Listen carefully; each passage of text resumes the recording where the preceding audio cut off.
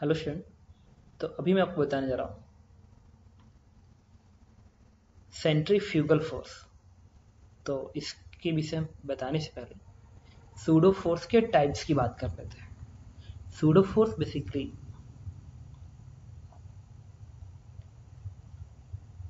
के कुछ टाइप्स होते हैं। जैसे फ़र्स्ट सूडो फोर्स के एक और टाइप है जिसको हम बोलते हैं सूडो फोर्स ये सूडोफोर्स वो है, जो कि ट्रांसलेटरी फ्रेम से डेवलप होता है। मतलब एक ऑब्जर्वर है, जो कि सीधे ऐसे जा रहा है, ऐसे। सिर्फ़ एसिलेट हो रहा है। वो कोऑर्डिनेट सिर्फ़ सिर्फ़ एसिलेट हो रहा है। तो उससे सूडोफोर्स डेवलप होता है। जिसको मैं लॉज ऑफ़ मोशन बता चुका हूँ कि इसकी वैल्यू किस बराबर आती है? माइनस एम ए के बराबर आती है। मतलब अगर एक रेफरेंस फ्रेम एसिलरेट ए से कर रहा है उससे अगर तुम किसी पार्टिकल के मोशन को ऑब्ज़र्व करते हो तो उस पार्टिकल के ऊपर जो सोडो फोर्स की ज़रूरत पड़ती है, वो pseudo force minus m a के बराबर होता है। तो ये ट्रांसलेटरी फ्रेम से डेवलप होती है। उसको बोलते हैं ट्रांसलेटरी फ्रेम जो रोटेट नहीं करती, सीधे ऐसे जाएगी, ऐसे ऐसे ऐसे। रोटेट मतलब ऐसे। ये ट्रांसलेटरी जो कि रोटेशन मोशन में और बेटर बता दूँगा। दूसरा टाइप होता है इसका। सेंट्रीफ्यूगल ठीक है? सेंट्रीफ्यूगल फोर्स और एक बोलते हैं कोरियोलिस कोरियोलिस फोर्स और ये जो होते हैं, ये जो अब इसके विषय में ऑलरेडी पढ़ चुके हैं। तो ट्रांसलेटरी फ्रेम से सिर्फ़ सूडो फोर्स डेवलप होता है। अगर एक ट्रांसलेटरी फ्रेम एसिलरेटेड है तो उससे सिर्फ़ सूडो फोर्स डेवलप होता है। सिर्फ़ सूडो फोर्स डेवलप होता है। लेकिन ये जो सेंट्रीफ्यूगल और कॉर्लेसिस है, ये रोटेटरी फ्रेम से डेवलप होता है। Rotatory rotatory frame with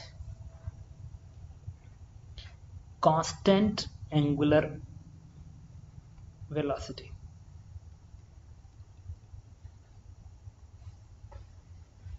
ठीक है तो कांस्टेंट एंगुलर वेलोसिटी तो अगर एक एक्सिस एक फ्रेम है, जो अपनी एक्सिस से घूम रहा है, जैसे कि मान लो ये है, ये ऐसे घूम रहा है, अपने एक्सिस से घूम रहा है ऐसे। तो अगर इस फ्रेम से तुम किसी पार्टिकल के मोशन को ऑब्ज़र्व करते हो तो उस पर भी सूडो फोर्स लगेगा। लेकिन उस पर जो सूडो फोर्स लगेगा, वो दो टाइप का होगा, एक सेंट्रीफ्यूगल एक कोरलेसिस अब एक इंपॉर्टेंट वर्ड मैं फिर रिपीट कर रहा हूँ। जैसे,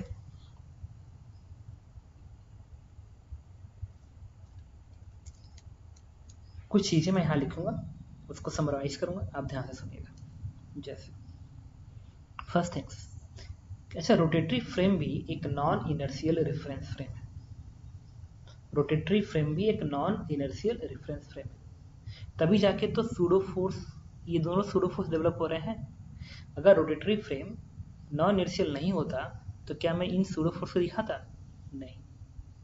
तो फ़र्स्ट थिंग्स जो मैं बोल सकता हूँ इसके अंदर, जो आप याद कर सकते हैं, वो ये कि rotatory frame is also rotatory frame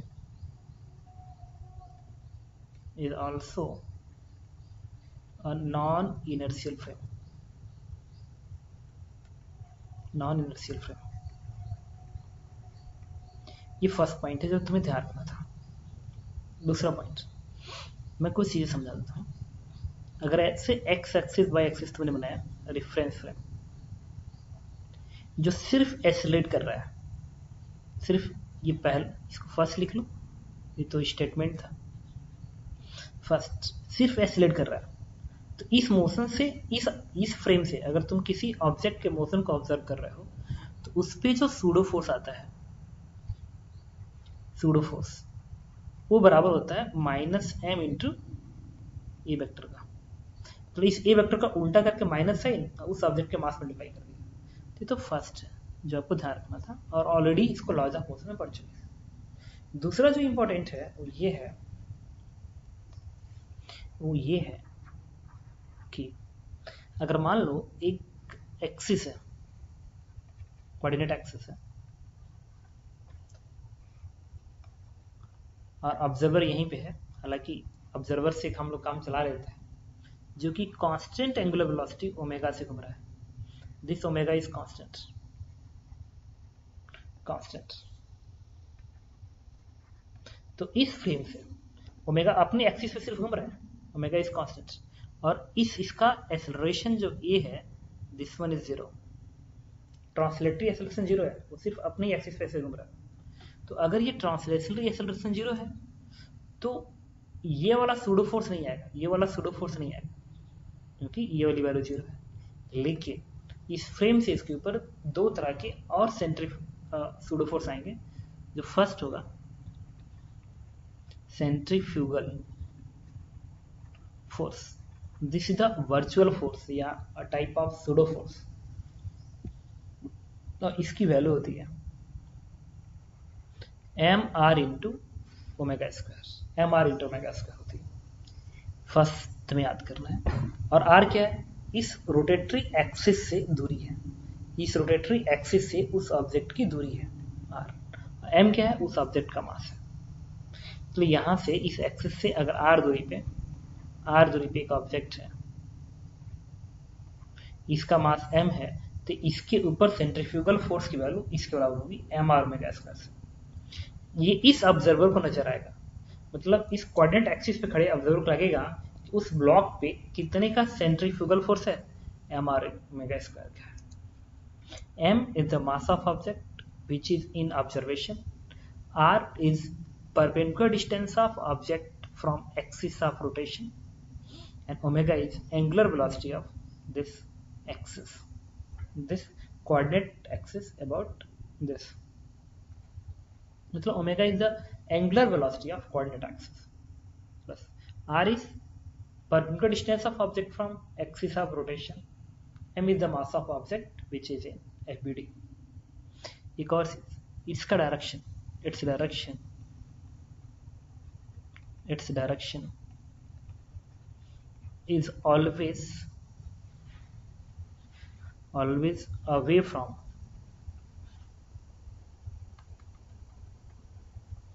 is always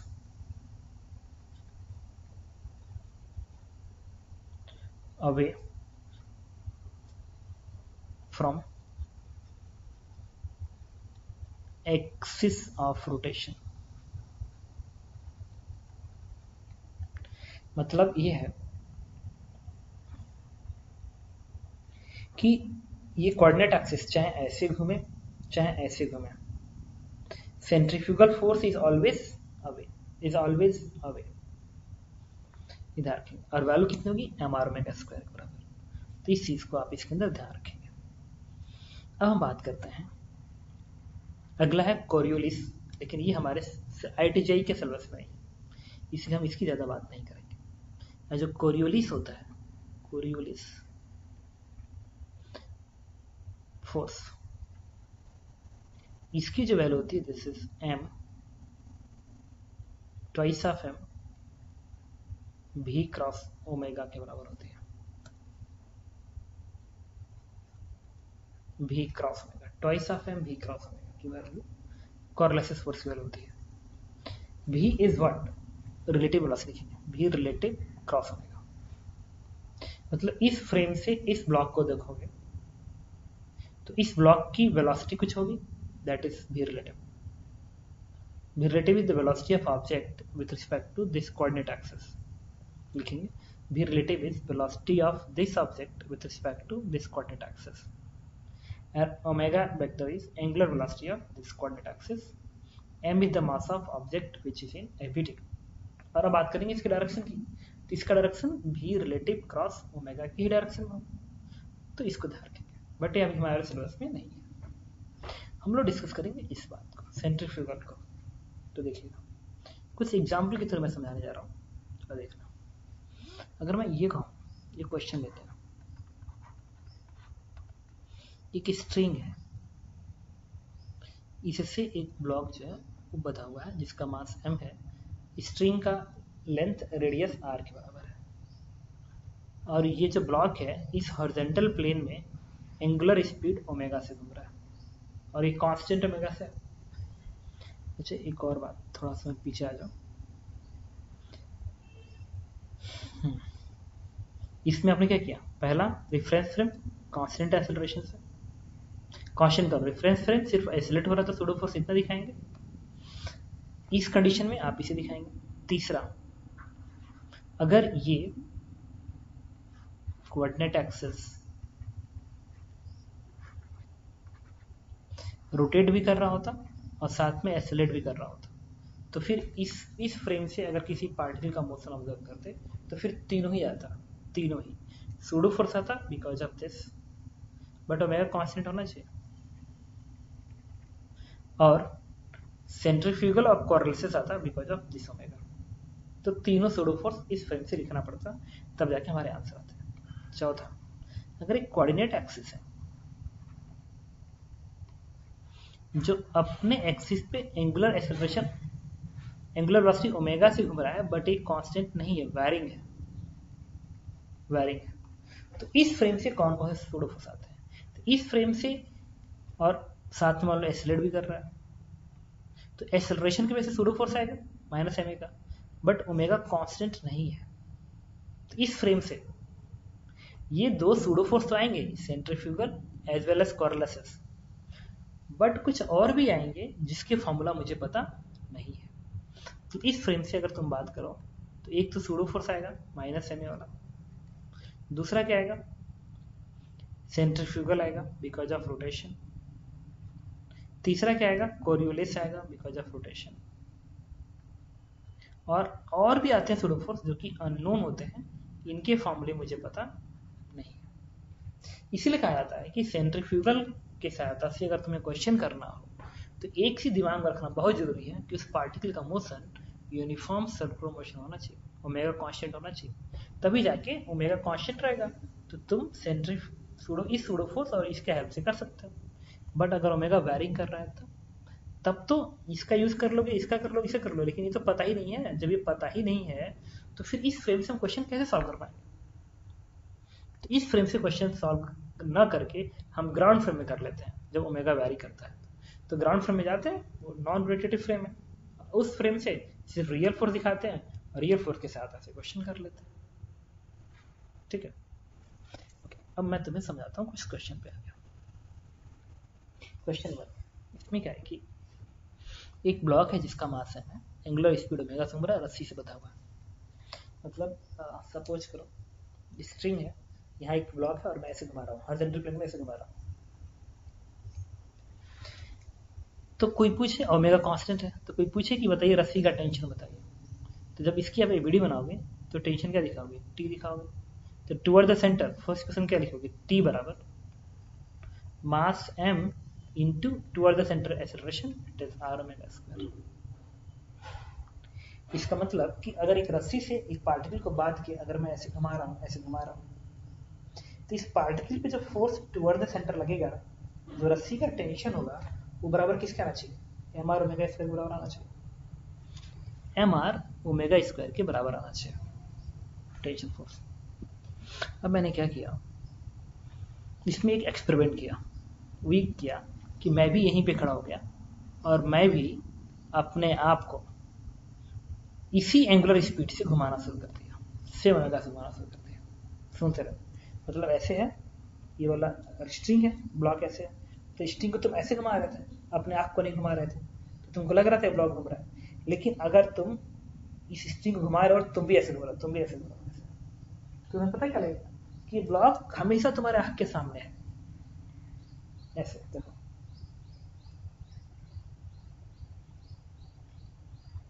मतलब मेरे आँख के सामने ब्लॉक हमेशा है। तो हम बोलेंगे कि ब्लॉक हमें रेस्ट में नज़र आ रहा है। कैसे? ऐसे देख लो, धरती घूम रही है, लेकिन तुम धरती पर खड़े हो। तो धरती तुमको कैसा नज़र आ रही है? रेस्ट में। क्यों रेस्ट में आ रही है? क्योंकि जितना ओमेगा तुम्हारा है, उतना ही ओमेगा इस अर्थ का है। Since angular speed of earth and you are same the earth appear in rest by you तो तुमको ये रेस्ट तुमको ये अर्थ ना रुका हुआ नज़र आ रहा है? इसी रीजन की वजह से। सिमिलरली अगर मैं एक रस्सी से एक पार्टिकल बाँध के, अगर मैं ऐसे घुमा रहा था ऐसे घुमाया तो चूँकि मेरे आँख के सामने हमेशा है तो मैं कहूँगा कि देखो, ये रुका हुआ है। और कभी कभी ऐसा फील आया कभी तुमको? तुम एक बड़ी सी रस्सी बाँध के और तुम ऐसे घुमाते रहो घुमाते रहो। कभी कभी समझ होगा, नहीं रुका हुआ है। तो रुका ही हुआ है, क्योंकि तुमको ऐसा लग रहा है कि रस्सी तुम्हारे आँख के सामने है। वो पार्टिकल तुम्हारे आँख के सामने, ऐसे क्या देखो ऐसे। अभी यहाँ था, भाग गया यहाँ पे। तो मैं कहूँगा भागा है। लेकिन मैं ऐसे। अभी भी आपके सामने, अभी भी आपके सामने, रुका हुआ तो इसको बोलते रुका हुआ जैसे अर्थ में खड़ा हूँ। अर्थ रुक रही, क्यों नज़र आ रही है? क्यों रुकी नज़र आ रही है? जब क्यों घूम रही है। It is because of the angular velocity of earth and me are same तो अगर मैं ऐसे घूम रहा हूँ, ऐसे घूम रहा हूँ तो जिस ओमेगा से मेरी आर घूम रही है उसी ओमेगा से पार्टिकल घूम रहा है। तो मैं कहूँगा पार्टिकल रेस्ट में तो मैं भी रेस्ट अगर मैं रेस्ट हूँ तो पार्टिकल भी रेस्ट में। क्यों? क्यों? हमेशा रैक के सामने है। ओके तो अगर इस ऑब्जर्वर को ये पार्टिकल रेस्ट में नज़र आ रहा है तो अगर इस ऑब्जर्वर कहा जाए कि तुम ये बताओ इस ब्लॉक की एपीडी बनाओ तो, जब इस ब्लॉक की एपीडी बनाने के लिए ये ऑब्जर्वर जाएगा तो क्या कहेगा? सर टेंशन तो रियल फोर्स है, वो तो मैं दिखाऊँगा ही। टेंशन तो रियल फोर्स है, वो तो मैं दिखाऊँगा ही। तो अगर मैं टेंशन रियल फोर्स दिखा दिया, लेकिन मैं एक नॉन मैं एक रोटेटरी फ्रेम मैं एक रोटेटरी फ्रेम एक रोटेटरी फ्रेम तो मेरे फ्रेम से इसके ऊपर इसके ऊपर नेट फोर्स ज़ीरो आना चाहिए, क्योंकि मुझे रेस्ट नज़र आ रहा है। रिपीट कर। रहा क्योंकि मुझको ये पार्टिकल रेस्ट में नज़र आ रहा है। मुझको ये पार्टिकल रेस्ट में नज़र आ रहा है। तो मेरे फ्रेम से इस पे नेट फोर्स ज़ीरो आना चाहिए। जबकि टेंशन तो एक रियल फोर्स है। रियल फोर्स फ्रेम इंडिपेंडेंट होता है।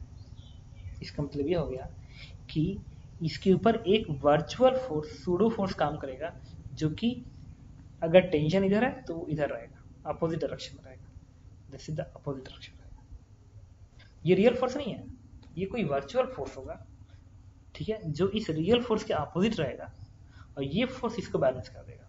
तो जब ये फोर्स इसको बैलेंस करेगा तो एफ़ माइनस टी की क्या आ गई ज़ीरो इससे एफ़ की वैल्यू क्या आ गई टी और ये टी क्या है? एम आर मेगा स्क्वायर इसका मतलब कि जो वर्चुअल फोर्स है, वो एम आर मेगा स्क्वायर होना चाहिए।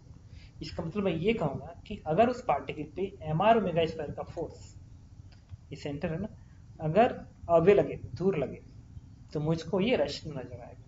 तो मैं कहूँगी हाँ ठीक है लॉज ऑफ़ मोशन की इक्वेशन में कोई दिक्कत नहीं है नेट फोर्स ज़ीरो आ रहा है।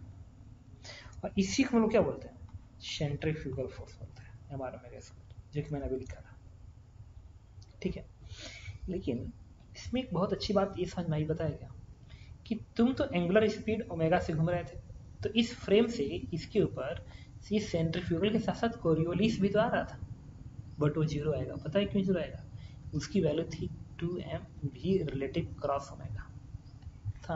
अब भी रिलेटिव ज़ीरो, क्योंकि तुमको तो ये ब्लॉक रुका हुआ नज़र आ रहा है। और तुमको अगर ब्लॉक रुका हुआ नज़र आ रहा है तो तुम क्या कहोगे? सर, भी रिलेटिव ज़ीरो। और भी रिलेटिव अगर ज़ीरो है तो वैल्यू ज़ीरो आती ठीक है तो सेंटर फ्यूगर से काम चल गया। तो मैं रिपीट कर रहा हूँ दोबारा तुमको।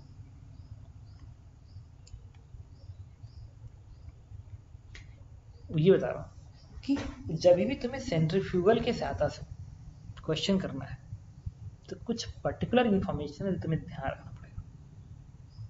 ठीक है? तभी जाके इसके सहायता से क्वेश्चन करेंगे। और आने वाले चैप्टर में धीरे धीरे इसको और मैं क्लियर कर दूँगा तो लिख देता हूँ यहाँ पे how to handle problem problems with the help of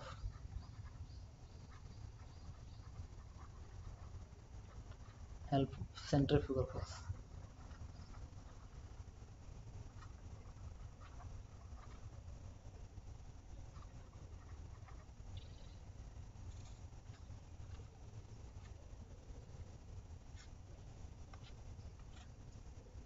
first ठीक है तो इसके अंदर जो आई का सिलेबस है उसके हिसाब से बता रहा उसके हिसाब से। फ़र्स्ट क्या होना चाहिए? कि एंगुलर स्पीड कांस्टेंट होना चाहिए। Angular speed of frame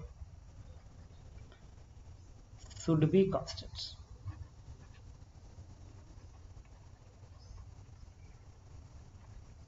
Should be constant तो एंगुलर स्पीड उस फ्रेम का क्या होना चाहिए? कांस्टेंट होना चाहिए। पहली चीज़ तो ये। मतलब इसके सहायता से सेंट्रीफ्यूगल के सहायता से क्वेश्चन करना है तो रिफरेंस फ्रेम का ओमेगा कांस्टेंट होना चाहिए।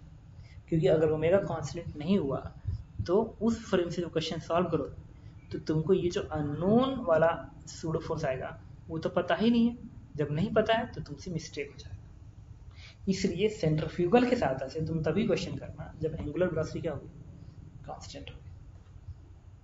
ओके फ़र्स्ट सेकेंड लेकिन हम लोग कोशिश करते हैं, पता है क्या? कि जब मैं फोर्थ इक्वेशन लिखूं तो कोरियोलिस वाला टर्म भी ना आए, इसलिए ना आए, क्योंकि आई टी के सिलेबस में है नहीं। तो हम लोग पढ़ते नहीं, उसको स्टडी नहीं करते। तो मैं चाहता हूँ कि कोरियोलिसिस का टर्म ना आए, ना ये वाला टर्म ना आए। तो तभी संभव है जब रिलेटिव वेलोसिटी क्या हो ज़ीरो इसका मतलब मैं कह सकता हूँ? कि इफ़ अभी लिख लेंगे, बाकी समझा दूँगा धीरे धीरे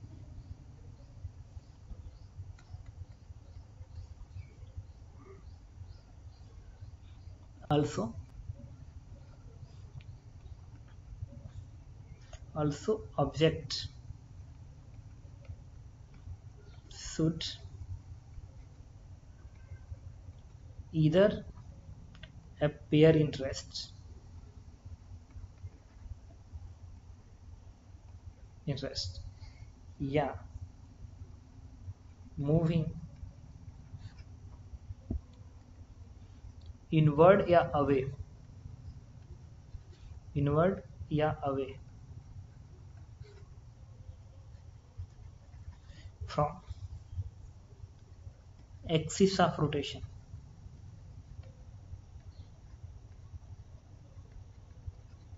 directly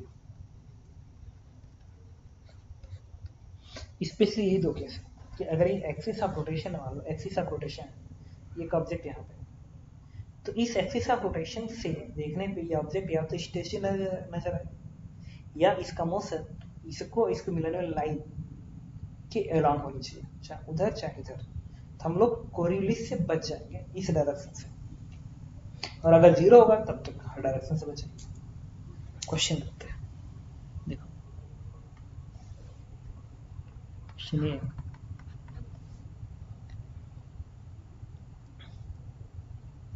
अगर मैं तुमसे ये कहूँ सुनते रहना एग्ज़ाम्पल शो कर रहा हूँ। ऑलरेडी मैं तो बता चुका हूँ इस एग्ज़ाम्पल को। मान लो एक प्लेटफॉर्म है, जिसकी एंगुलर वेलोसिटी ओमेगा है। और ओमेगा क्या है?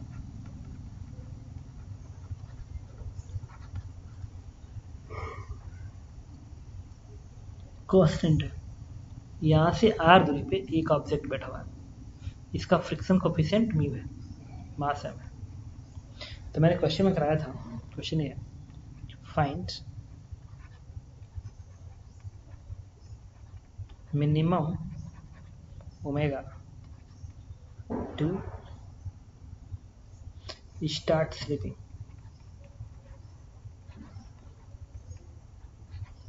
to start slipping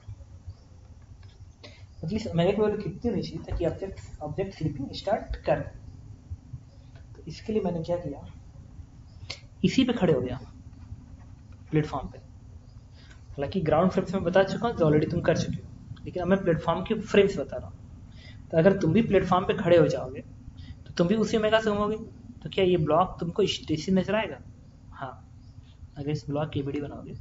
ये देखो, धरती पे मैं खड़ा हूँ, धरती पे मैं खड़ा हूँ, और मेरे आँख के सामने ये पानी का बॉटल है। तो धरती तो ओमेगा से घूम रहा है। तो ये भी ओमेगा से घूम रहा है। तो मुझको ये कैसा नज़र आ रहा है? रेस्ट में तो नज़र आ रहा है। नहीं, यही मैं तुमसे कह रहा हूँ कि अगर ये ऑब्जर्वर इसी प्लेटफॉर्म पे खड़ा हो जाए तो इस ऑब्जर्वर को ये ब्लॉक स्टेशनरी नज़र आएगा स्टेशनरी नज़र आएगा। स्टेशनरी नज़र आएगा। तो अगर स्टेशन नज़र आ गया तो ओमेगा क्वेश्चन में क्वेश्चन दिया गया। तो क्या मैं सेंट्रल सेंट्रीफ्यूगल से कर सकता हूँ? हाँ कर सकता हूँ। वही तो कहा था कि सेंट्रीफ्यूगल से करना हो तो या तो ब्लॉक स्टेशन नज़र आना चाहिए या मूविंग इनवर्ड या आउटवर्ड होना चाहिए फ्रॉम एक्सेस का कोई बात नहीं। रेस्ट में आ गया ना? ठीक है। अगर रेस्ट में आ गया, अगर तुम इसी ओमेगा से घूम रहे हो, जिस ओमेगा से ब्लॉक घूम रहा है तो तुमको ये ब्लॉक स्टेशन नज़र आएगा। स्टेशन नज़र आएगा। तो इस फ्रेम से जब इस ब्लॉक को देखोगे तो इसके ऊपर सूडो फोर दिखेगा। किधर? अबे। सेंट्रीफ्यूगल फोर्स दिखेगा किधर? अबे। और सेंट्रीफ्यूगल फोर्स किस बराबर होगा? मास एम इस ब्लॉक का मास एम ये दूरी मान लो आर के बराबर है। तो क्या लिखोगे? एम आर ओमेगा का स्क्वायर तो इस फ्रेम से जब इस ब्लॉक को देखते हो तो इस ब्लॉक पे सूडो फोर्स सेंट्रीफ्यूगल फोर्स अभी दिखता है एम आर ओमेगा स्क्वायर बराबर। तो अगर ये जो बॉटम है, ये जो बॉटम है, इस ब्लॉक का जो बॉटम है, अगर यहाँ पे फ्रिक्शन नहीं होता तो बिकॉज़ ऑफ़ सेंट्रीफ्यूगल फोर्स ये ब्लॉक दूर चला जाता। बट ये ब्लॉक दूर नहीं जा रहा। क्यों? क्योंकि इस डायरेक्शन में फ्रिक्शन काम कर रहा है। फ्रिक्शन काम कर रहा है। तो जितना ओमेगा बढ़ेगा, जितना ओमेगा बढ़ेगा, उतना ही ये फोर्स बढ़ेगा और जितना ही फोर्स बढ़ेगा, उतना ही स्लिप करने के चांसेस ज़्यादा है। और स्लिप कब करेगा? जब ये फोर्स इस फ्रिक्शन की लिमिटिंग वैल्यू को टच कर देगा। तो इसकी लिमिटिंग वैल्यू क्या आएगी? It's mu M into G बन गई लिमिटिंग वैल्यू और जब ये सेंट्रीफ्यूगल इस फ्रिक्शन फोर्स को बैलेंस करेगा लिमिटिंग वैल्यू को। उसके बाद अगर तुमने ओमेगा को बढ़ा दिया ओमेगा को बढ़ा दिया तो फ्रिक्शन तो वही रह जाएगा। ओमेगा बढ़ गया तो ये फोर्स बढ़ गया। अगर ये फोर्स बढ़ गया तो ब्लॉक दूर चला जाएगा। दूर बिकॉज़ ऑफ़ सेंट्रीफ्यूगल फोर्स लगेगा कि ब्लॉक दूर कर भाग रहा है, दूर कर भाग रहा है। यहाँ से एनसीएम कट गया। और ओमेगा की वैल्यू क्या आ गई? Under root mu G upon R this is the minimum omega to start slipping इससे अगर हल्का से भी ज़्यादा ओमेगा रखते हो तो ब्लॉक क्या करेगा? स्लीप करेगा। लेकिन किधर करेगा? अवे करेगा। Away from axis as seen by that observer क्यों अवे करेगा? क्योंकि ओमेगा बढ़ाओगे तो वैल्यू बढ़ेगी। ये तो वही रह गई। तो अवे भाग जाएगा। अवे भाग जाएगा। ओके ये क्वेश्चन और करते हैं। तो इसका मतलब ये है कि जब भी हमें क्वेश्चन करना होगा, देखिए, इस क्वेश्चन में क्या है कि ये एक प्लेटफॉर्म है, एक सर्कुलर प्लेटफॉर्म है डिस्क है, जो कि अपने एक्सिस पे ओमेगा नॉट से घूम रही है। तो एक सर्कुलर प्लेटफॉर्म है जो कि ऐसे घूम रहा है, ऐसे। और इसके एक्सिस से आर दूरी पे एक रॉड लगाया गया है। और रॉड से एक रस्सी बाँध दिया गया है, जिसका लेंथ एल है मास एम हैंग कर दिया गया है। तो इस तरीके से देखिएगा। ऐसे है। ये प्लेटफॉर्म है जो कि ऐसे घूम रहा है ऐसे घूम रहा है। और यहाँ पे एक रॉड लगा दिया गया। ये इसका सेंटर ये और यहाँ पे एक रॉड लगा दिया गया। और इससे एक रस्सी बात दो। इससे एक रस्सी बात दो। तो जब इसको ऐसे घुमाओगे ना तो रस्सी जो होगी, इसमें जो रस्सी बधी होगी ना, वो इससे दूर चली जाएगी, ऐसे दूर। जब ऐसे घुमाओगे ना, ऐसे। तो ये रस्सी दूर चली जाएगी। तो क्वेश्चन पूछ रहा है कि ये एंगल थीटा कितना होगा? और इस रस्सी में जो टेंशन डेवलप होगा, वो किसके बराबर जबकि ये दिया गया है कि रस्सी का जो लेंथ है एल वो इस रॉड का एक्सिस से दूरी है, उससे बहुत ही कम है, बहुत ही कम है। तो radius is very very greater than length of string तो इसको मैंने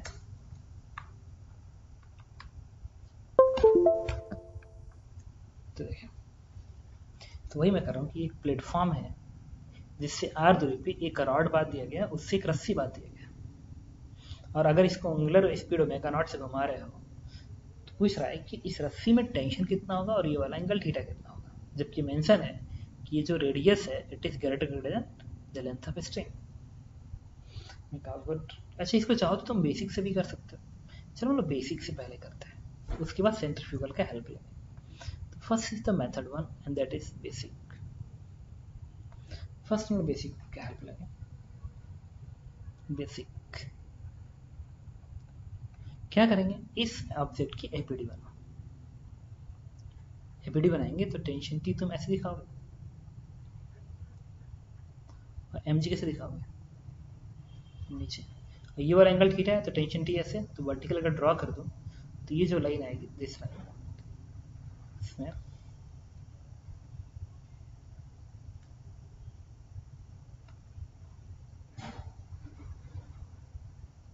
This angle is theta and this is tangent to और यहाँ से इस एक्सिस की दूरी होगी, यहाँ से इस एक्सिस की दूरी होगी, इस एक्सिस की, वो बराबर किसके होगा? बेसिकली ए भी ना आर के ही बराबर होगा। पता है क्यों आर के बराबर होगी? क्योंकि ये दूरी क्या होगी? इसकी ये दूरी निकालनी थी बेसिकली तो ये दूरी क्या होनी चाहिए? This is R and this one is L sine theta तो यहाँ से यहाँ तक इस दूरी आनी चाहिए। होनी चाहिए basically R plus L sine theta लेकिन ये मेंशन है कि L is less less than R अगर इस एल की वैल्यू इस आर से बहुत कम है तो पूरी वैल्यू अप्रोक्सीमेट क्या होगी? तो वही मैंने लिख लिया कि यहाँ से लेके यहाँ तक की दूरी आर होगी। अब ये तो सेंटर है। और एंगुलर स्पीड किससे घूम रहा है? ओमेगा नॉट से घूम रहा है। ओमेगा नॉट से वो पार्टिकल ऐसे घूम रहा है। तो toward the center force question क्या बनेगा? This is T sine theta toward the center force equation T sine theta equals to M R omega not का स्क्वायर क्वेश्चन नंबर वन तो T sine theta equals to M R omega not का square अब Y में force balance करें। Y में अगर ऐसे घूम रहा है तो toward the center force equation M R omega square Y में फोर्स बैलेंस करोगे तो नेट फोर्स क्या आएगा? ज़ीरो तो फिर टी का ये कंपोनेंट क्या बनेगा? T cos theta is equals to M G अब इसको इसे डिवाइड कर दो तो इससे टेन थीटा की वैल्यू क्या मिल जाएगी? This one is R omega not का स्क्वायर डिवाइड बाई जी इसको इससे डिवाइड कर दिया। एम से एम कटेगा आ गया इतना। आपको पीछे टेंशन कितना होगा? तो इसको इसको स्क्वायर कर दिया अंडर रूट करोगे तो इसका स्क्वायर प्लस इसका स्क्वायर का अंडर रूट आ जाएगा तो टी आ जाएगा। ये तो मेथड वन था। मेथड टू जो मैं यूज़ करने जा रहा हूँ वही मैं कह रहा हूँ कि सेंट्रीफ्यूगल का हेल्प ले रहा हूँ। सेंट्रीफ्यूगल का हेल्प क्यों लेने जा रहा हूँ? बताता हूँ। भाई ओमेगा कांस्टेंट है तो मैं चाहूँ तो इसके सहायता से भी क्वेश्चन कर सकता हूँ। ओमेगा कांस्टेंट है तो जब मैं इसी पे खड़ा होके इसके मोशन को ऑब्ज़र्व करूँगा तो जिस ओमेगा से ये घूम रहा है, क्या मैं भी उसी ओमेगा से घूम रहा हूँ? हाँ। अगर मैं भी उसी ओमेगा से घूम रहा हूँ तो मुझको ये पार्टिकल कैसा दिखेगा? स्टेशनरी दिखेगा स्टेशनरी दिखेगा। अगर वो मुझे पार्टिकल स्टेशनरी दिखता है तो मैं कह सकता हूँ, इस क्वेश्चन को आप सेंट्रीफ्यूगल के सहायता से इजिली कर सकते हो। तो करो। तो इस फ्रेम से इसको देखोगे तो एबीडी बनाएँगे फिर से। तो एबीडी बनाएँगे तो टेंशन टी ऐसे दिखाओगे एम जी तुम ऐसे दिखाओगे। और ये वाला एंगल क्या है? थीटा बच गया सेंट्रीफ्यूगल सेंट्रीफ्यूगल किधर दिखेगा?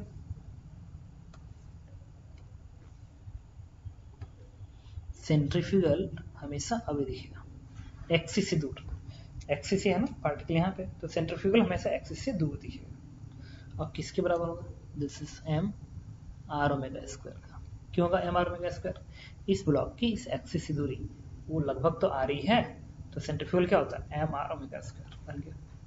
लेकिन इस ऑब्जर्वर को ये पार्टिकल कैसा दिखेगा? रेस्ट में दिखेगा, घूमता हुआ नहीं। मैथड वन में तो घूमता हुआ नज़र आ रहा था, लेकिन मैथड टू में यही पार्टिकल इस ऑब्जर्वर को स्टेशनरी नज़र आ रहा होगा स्टेशनरी रेस्ट में तो रेस्ट नज़र आ रहा होगा। तो वो क्या कहेगा ऑब्जर्वर ठीक है हमको तो रेस्ट में नज़र आ रहा है। और हमको अगर रेस्ट नज़र आ रहा है तो मैं लिखूँगा net force equal to zero और हर डायरेक्शन एक्स में भी और वाई में भी। मैंने क्या किया? टी का ये कंपोनेंट इस टी कॉस एम जी नीचे minus M G is equal to zero equation number one Y में लिख लिया। बैलेंस करेंगे एक्स में एक्स में। एक्स में क्या होगा? टी का, ये कंपोनेंट क्या बनेगा? T sine theta this one is T sine theta minus M R omega square is equal to zero equation number two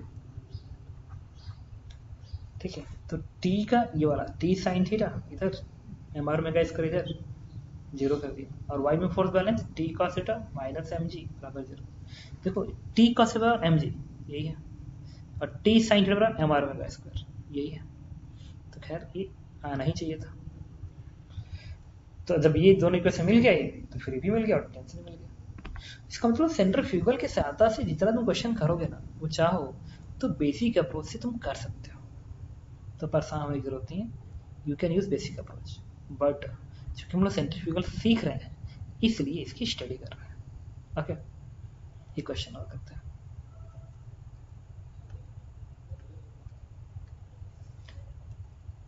ये है। सपोज़ करो, इस तरीके से एक प्लेटफॉर्म है। ठीक है? और यहाँ पे एक इंक्लाइन प्लेन है, इसी सरफेस पे रखा हुआ। ऐसा एक इंक्लाइन प्लेन मैंने रख दिया incline plane inclination angle is 37 degree यहाँ पे एक ब्लॉक है। ठीक है, यहाँ पे ब्लॉक है। क्वेश्चन ये है कि अगर ये एंगुलर स्पीड ओमेगा नॉट से घूम घूम रहा है तो खूब तेज अगर घुमाओगे ना तो तुम पाओगे कि ब्लॉक ऊपर को स्लिप कर जाएगा, ऊपर को स्लिप कर जाएगा, और धीरे धीरे घुमाओगे तो नीचे को आएगा। समझ कि अगर यही है इस तरीके से, और यहाँ पे एक इंक्लाइन प्लेन तुम ऐसे ये सरफेस हॉरिजॉन्टल है डिस्क हॉरिजॉन्टल है, और यहाँ पे एक इंक्लाइन प्लेन ऐसे लगा दो, ऐसे इंक्लाइन प्लेन इस पर एक ब्लॉक ब्लॉक को छोड़ दो सरक जाएगा। लेकिन अगर तुम इसको ऐसे घुमा रहे ऐसे, और खूब तेज घुमाओगे तो तुम पाओगे ब्लॉक को ऊपर सरकने की टेंडेंसी है। तो क्वेश्चन में ये कहता है। ठीक है, और एक वही है कि अगर उसको धीरे धीरे घुमाओगे तो नीचे सरकेगा, बहुत तेज घुमाओगे तो ऊपर सर जाएगा। इसका मतलब कोई ना कोई ओमेगा ऐसा है, जिस केस में ब्लॉक स्टेशनरी होगा। जिस केस में ब्लॉक इसके ऊपर स्टेशनरी होगा। ऐसा इंक्लाइन प्लेन था। ऐसा इंक्लाइन प्लेन इसके ऊपर था। अगर इस पर ब्लॉक को रखोगे, छोड़ोगे तो सरक जाएगा। और उसको यहाँ पर रखो, खूब तेज घुमाओ तो पाओगे ना ऊपर सरक जाएगा। तो क्वेश्चन पूछता है कि इस ओमेगा नॉट की वैल्यू कितनी है? Find omega not so that block will be stationary block will be in rest with respect to incline. Incline, ठीक है? जबकि इस ब्लॉक की जो दूरी है, यहाँ से वो कैपिटल आर के बराबर है। मैंने कहा, चूँकि सेंट्रीफ्यूगल सीख रहे हैं हम लोग तो उसी से क्वेश्चन को सॉल्व कर लें। तो मैंने कहा कि चलो सेंट्रीफ्यूगल का हेल्प लेते हैं। तो इसके लिए मैंने क्या किया? इस ब्लॉक की एबीडी बनाई। एक्सिस से दिखाया। और ये इंक्लाइन है। इंक्लाइन पे ब्लॉक ऐसे रख दिया। यही वाला ब्लॉक है। रेडियस आर पे है। तो मुझे बताओ नॉर्मल रिएक्शन ऐसे दिखाओगे? एन एम जी इसका कैसे दिखाओगे? तो ऐसे डाउनवर्ड दिखाओगे। और सेंट्रीफ्यूगल फोर्स किधर होता है? सेंट्रीफ्यूगल फोर्स तो हमेशा एक्सिस से दूर होता है। दूर, ऐसे। वो बराबर किसका होगा? तो M R into omega square के बराबर आएगा ओमेगा नॉट। तो ब्लॉक पे आपने सेंट्रीफ्यूगल फोर्स अभी दिखाया, नॉर्मल रिएक्शन से दिखाया एम इधर। नॉर्मल रिएक्शन एक रियल फोर्स इधर दिखा दिया। एम जी रियल फोर्स नीचे दिखा दिया, और सेंट्रीफ्यूगल को दूर कर दिया। अब इस फ्रेम से खड़ा होकर अगर तुम इस ऑब्जर्वर को देख रहे हो, इस ऑब्जेक्ट को देख रहे हो तो तुमको तुमको ये ऑब्जेक्ट स्टेशन नज़र आएगा वही कहा गया रिस्पेक्ट टू इंक्लाइन रेस्ट रहना चाहिए। तो तुम इंक्लाइन पे खड़े हो और उस ब्लॉक को देख रहे हो तो तुमको लगेगा कि ब्लॉक के रेस्ट है। तुम्हारे रिस्पेक्ट तो चलो ये एंगल 37 डिग्री है। तो इंक्लाइन का अगर सेंटर एंगल 37 है तो इसके नॉर्मल का वर्टिकल एंगल 37 होगा। थर्टी सेवन डिग्री तो इंक्लाइन का अगर हॉरिजेंटल एंगल 37 डिग्री है तो इंक्लाइन पे जो नॉर्मल होगा, उसका वर्टिकल एंगल क्या होगा? 37 डिग्री और चूँकि इस ऑब्जर्वर को ये ब्लॉक स्टेशन नज़र आ रहा है, क्यों? क्योंकि वो सेंट्रीफ्यूगल फोर्स इतने का लगा चुका है और उसी ओमेगा से घूम रहा है, जिस ओमेगा से ब्लॉक घूम रहा है। तो तुमको क्या लगेगा कि ब्लॉक आँख के सामने हमेशा है? अगर आँख के सामने हमेशा है तो उस पर नेट फोर्स क्या होना चाहिए? ज़ीरो तो ये ऑब्जर्वर कहेगा कि मुझे इस पर नेट फोर्स ज़ीरो करना है। तो नेट फोर्स ज़ीरो करो। तो एन का कंपोनेंट ऊपर दिखाएँगे तो लिखेंगे? N cos thirty seven degree minus M G is equal to zero इससे क्या आ गया? N cos thirty seven degree is equal to M G question number one ये तो मैंने किधर बैलेंस किया? वाई में क्वेश्चन लिखा था। वाई में लिखा था। अब लिखेंगे एक्स में क्वेश्चन तो एक्स में इस एन का ये फोर्स क्या आएगा? N sine thirty seven angle के सामने वाला साइन कहलाता है। This is N sine thirty seven degree N sine thirty seven degree toward the center आएगा। Minus M R omega not का square and that is zero तो x के direction में नेट फोर ज़ीरो कर दिया और y में भी नेट फोर ज़ीरो कर दिया। क्यों? क्योंकि ये ऑब्जेक्ट इस ऑब्जर्वर को स्टेशन नज़र आ रहा था। तो यहाँ से इक्वेशन क्या बन गया? This is N sine 37 degree is equal to M R omega not के स्क्वायर क्वेश्चन नंबर टू अब क्या करना है तुम, तुमको क्या निकालना था? ओमेगा नॉट निकालना था। तो इस इक्वेशन को इससे डिवाइड कर लो जैसे इसको इससे डिवाइड करोगे एन से एन कटेगा एम से एम कटेगा। और ओमेगा नॉट आर और जी के टर्म में आ जाएगा। ओके ये क्वेश्चन हमने ये किया। ऐसे ही ये क्वेश्चन और करते हैं। ये है। देखिए, ये भी एक बड़ा सा प्लेटफॉर्म होता है। बड़ा सा प्लेटफॉर्म नहीं है। इसमें इस तरीके से, एक एक्सेस है। उससे मैंने एक पुली बांधा है और एक ब्लॉक को ऐसे बाँध दिया एक और ब्लॉक है। एकदम सेम लेंथ पर रखा है यहाँ से। ऐसे। और इस पूरे को मैं एंगुलर स्पीड ओमेगा नॉट से घुमा रहा हूँ। और हॉरिजेंटल प्लेन में। All are horizontal plane horizontal plane में। इसका मास दिया गया सपोज़ करो एम के बराबर है, इसका मास टू एम के बराबर है। तो कोई सारा क्वेश्चन में और यहाँ से दोनों ब्लॉक का डिस्टेंस एक्सिस से आर है। पूछ रहा है। Find tension in string.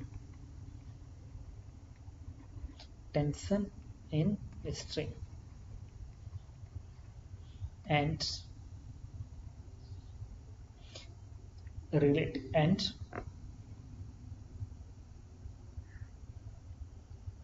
relative acceleration of block. With respect to axis. Axis coordinate. ये जो कोऑर्डिनेट सिस्टम है, इसके रिस्पेक्ट में इसका एक्सेलरेशन कितना होगा? अब मैंने क्या किया? सबसे पहले मैं क्वेश्चन समझाता हूँ क्या है। ये एक्सेस है। और इस एक्सिस से एक रस्सी बाँध के आपने एक पुली में ये ऐसा, पुली हॉरिजॉन्टल प्लेन में ध्यान रखना horizontal plane gravity free space है मान ग्रेविटी फ्री स्पेस में एक मैंने एक एक्सिस है, और इस पे मैंने रस्सी बाँध के, ऐसे रस्सी बाँध के एक पुली में लपेटा है। बाँध दिया सेंटर से, और एक पुली से रस्सी ऐसे निकाल के, एक ब्लॉक यहाँ, एक ब्लॉक यहाँ। इसको खूब तेज घुमा रहा हूँ, पूरे सिस्टम का घास पर घुमा रहा हूँ।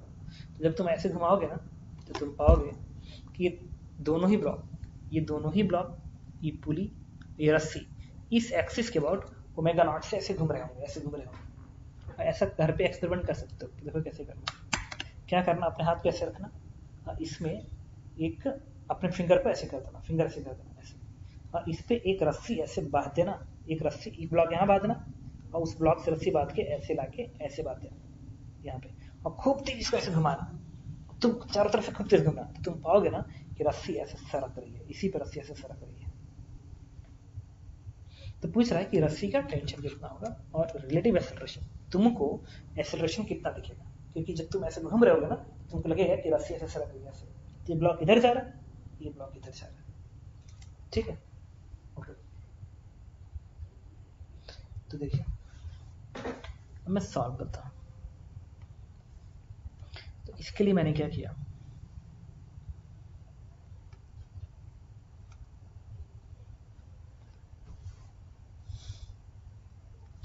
तो हम लोग फिर क्या करेंगे? सेम काम।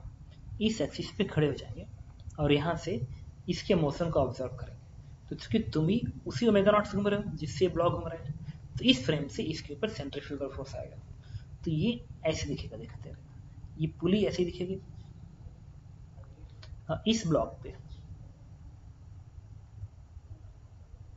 हाँ, इस ब्लॉक पे सेंट्रीफ्यूगल फोर्स दिखेगा। और तुम्हें पता है अगर तुम यहाँ खड़े हो तो तुमको ये पुली रेस्ट नज़र आएगी रेस्ट में। सिर्फ़ ये रस्सी इसके ऊपर सरकता नज़र आएगा। ये पुली रेस्ट नज़र आएगी, क्योंकि तुम भी उसी ओमेगा नॉट से घूम रहे हो। अगर तुम भी उसी ओमेगा नॉट से घूम रहे हो तो पुली आपके सामने है। ये पुली है, मेरा हाथ आपके सामने है। ऐसे पुली था ना, ये पुली है। तो तुम भी ऐसे घूम रहे तो तुमको लगेगा कि ये तुम्हारे आँख के सामने तो स्टेशनरी और इसके ऊपर रस्सी ऐसे स्लिप कर रही तो ये रेस्ट नज़र आएगा इसको और इसके फ्रेम से इस ब्लॉक पे सेंट्रीफ्यूगल फोर्स अभी दिखेगा। कितना होगा? एम और इसकी यहाँ से दूरी आर है तो एम आर ओमेगा नॉट का स्क्वायर और इसके ऊपर भी सेंट्रीफ्यूगल फोर्स दिखेगा कितने का? मास टू एम है ना? तो बनेगा two M R omega not का स्क्वायर ऐसा दिखेगा। तो इस फ्रेम से देखोगे तो इसके ऊपर सोडो फोर्स ये और इसके ऊपर सोडो फोर्स ये दिखेगा। अब देखो, तुम्हें क्या लग रहा है? अब पूरे क्वेश्चन में तुमको पता है क्या महसूस होगा? ये महसूस होगा कि ये जो रेस्ट वाली पुली है ना रेस्ट वाली पुली है, पुली ये है। इसके ऊपर एक रस्सी ऐसे आ रही है, एक ब्लॉक यहाँ पे, एक ब्लॉक यहाँ पे। इस ब्लॉक पे two M R omega not square का फोर्स इधर है, और इस वाले ब्लॉक पे M R omega not square का फोर्स इधर है। तो ये इधर, और ये इधर बट ये ज़्यादा फोर्स है। तो ये ज़्यादा फोर्स है तो ऐसे ऐसे ऐसे ऐसे मोशन होगा। ये दूर जाएगा, ये इसके पास आएगा। तो हम लोग क्या करेंगे? अब इसकी एबीडी बनाएँगे तो टेंशन टी का दिखा दो। तो ये टी ये टी तो यहाँ तक टी आएगा। सिमेट्री से, चूँकि ये इससे ज़्यादा है तो जितना एक्सेलरेशन इसका होगा, अगर ये इधर जाएगा तो ये इधर आएगा, ये भी उसी एक्सेलरेशन से आएगा। क्यों? क्योंकि ये पुली तो रेस्ट में है ना, इस फ्रेम से। तो इसको लगेगा कि जिस एक्सेलरेशन से ये ब्लॉक इधर जा रहा है एग्जैक्टली exactly उसी एक्सेलरेशन से ये ब्लॉक इधर आ रहा है। तो इस पे फोर्स क्वेश्चन क्या लिखोगे? तुम लिखोगे two M R omega not का square two M R omega not का square minus T is equal to two M इस ब्लॉक का mass two M into A question number one इस ब्लॉक पे फोर्स इक्वेशन क्या लिखोगे? ये T है, ये फोर्स है। तो T minus M R omega not का square is equal to mass into A question number two तो इस वाले ब्लॉक पे force equation this force minus T बराबर मास इंटू ए और इस वाले ब्लॉक पे force equation this force minus this बराबर मास इंटू बन गया दो इक्वेशन और दो इक्वेशन दो अनोन है, एक टी अनोन है और एक ए अनोन है। आंसर आ जाएगा। क्या करो? इन दोनों को जोड़ दो। तो ए की वैल्यू कितनी आएगी? ए की वैल्यू आ जाएगी एम से एम कटेगा तो बनेगा क्या? एक एम कट जाएगा, तीन तो बनेगा आर ओमेगा नॉट का स्क्वायर बाई थ्री ये आ गया ए की वैल्यू और इस ए को उठा के तुम यहाँ रख दो तो आ जाएगा टी वैल्यू कितनी आएगी? It is M R omega not का square plus M R omega not का square by three then value is four M R omega not का square by three and this is answers ठीक है? Okay चलिए, ऐसे ही कुछ और question करते हैं।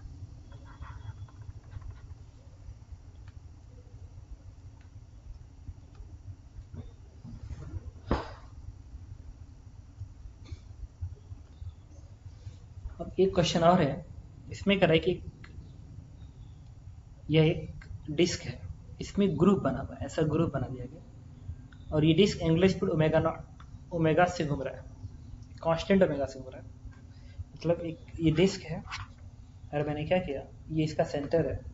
इस सेंटर से मैंने ऐसे ऐसे कट करके कट करके बीच में एक ग्रुप बना दिया। ग्रुप बना दिया। ऐसे एक ग्रुप बना दिया बीच में। और ये जो डिस्क है, इसका रेडियस कैपिटल आर के बराबर है। अब डिस्क के सेंटर से आर नॉट दूरी पे मैंने एक पार्टिकल को जस्ट रख दिया। ये ओमेगा नॉट की कांस्टेंट स्पीड से घूम रहा है। तो क्वेश्चन में पूछ रहा है कि बताइए कि जब इस ब्लॉक को हम यहाँ पर रिलीज़ करते हैं तो ये ब्लॉक दूर और भागने लगता है, ऐसे भागता भी है। तुम देखना, कभी कभी ऐसा एक्सपेरिमेंट करना। तुम अपने हाथ पे एक रखना, ऐसे रख दिया। इसको खूब तेज से खींचना। तुम देखो ना, ये दूर ये दूर भागेगा ये ऐसे भागने लगेगा। अभी एक्सपेरिमेंट करके देखो। अपने हाथ पे रखो एक पेन को, और ऐसे अपने हाथ पे खूब तेज खींचो। देखो, वो लगेगा दूर की ओर भाग रहा है। ओके? तो मुझसे दूर से लगे तो उसको लेना तो हाँ। तो वही इसमें भी होगा कि दूर की ओर जा रहा है। तो वही इसमें भी होगा कि जब इसको घुमाओगे ना तो ये ब्लॉक दूर की ओर जाएगा। तो क्वेश्चन में कह रहा है कि जब ये ब्लॉक इसको छोड़ने वाला होगा, उस समय इसकी रिलेटिव वेलोसिटी इस डिस्क के फ्रेम में कितनी होगी? एंड दूसरा, कि जब ये छोड़ रहा होगा, उसमें ग्राउंड फ्रेम में इसकी वेलोसिटी क्या नज़र आएगी? तो डिस्क के फ्रेम का मतलब क्या है? कि अगर डिस्क पे तुम बैठ गए हो डिस्क के एक्सिस पे तुम भी उसी ओमेगा से घूमोगे अगर तुम भी उसी ओमेगा से घूम रहे हो तो सेंट्रीफ्यूगल फोर्स उस ब्लॉक पे इधर लगेगा अभी लगेगा। इस फ्रेम से जब देखोगे, इस ब्लॉक को तो इस पे सेंट्रीफ्यूगल फोर्स से दिखाओगे अवे दिखाओगे। तो सेंट्रीफ्यूगल फोर्स अवे हो गया। जब सेंट्रीफ्यूगल फोर्स अवे हो गया तो ब्लॉक दूर जाता हुआ नज़र आएगा। ठीक है? तो मतलब इस तरीके से जैसे ये है, ऐसे रखा हूँ और ऐसे घुमा रहा तो मुझे दूर जाता हुआ नज़र आ रहा है, दूर जाता हुआ नज़र आ रहा है। तो मैं जानना चाहता हूँ कि जब ये छोड़ रहा होगा, उस समय इसकी वेलोसिटी कितनी होगी? मुझे कितनी दिखेगी? This is the relative velocity of this block with respect to this disc और सेकेंड क्वेश्चन क्या है? Velocity of block with respect to ground जैसे मान लो एक ऑब्जर्वर ये तुम हो, ठीक है? ये ऑब्जर्वर तुम हो। ओके देखो, ये ऑब्जर्वर तुम हो और ये ब्लॉक है। तो इसमें क्या है कि जब ये ऐसे जा रहा होगा तो मैं ऐसे घूम रहा हूँ, मैं ऐसे घूम रहा हूँ तो मुझको लग रहा है कैसे जा रहा है। लेकिन उसको लगेगा, इसको, कि ऐसे भी जा रहा है, इधर भी जा रहा है। क्यों? क्योंकि मेरा हाथ ऐसे जा रहा है ऐसे जा रहा है। मेरा हाथ ऐसे जा रहा है, ऐसे। तो इसको लगेगा इस ऑब्जर्वर को कि ब्लॉक इधर भी जा रहा है और दूर भी जा रहा है। तो इन दोनों का रिजल्टेंट इसको नज़र आएगा। और मुझसे क्या नज़र आएगा? सिर्फ़ दूर जा, दूर जाता हुआ तो देखिए इसको सॉल्व करने के लिए मैंने क्या किया? कि इसके ऊपर एक ऑब्जर्वर को बैठा दिया। बैठा दिया। और मान लिया किसी टाइम पे ये जो ब्लॉक है इसके एक्सिस से इसके एक्सिस से एक्स दूरी पे ब्लॉक है।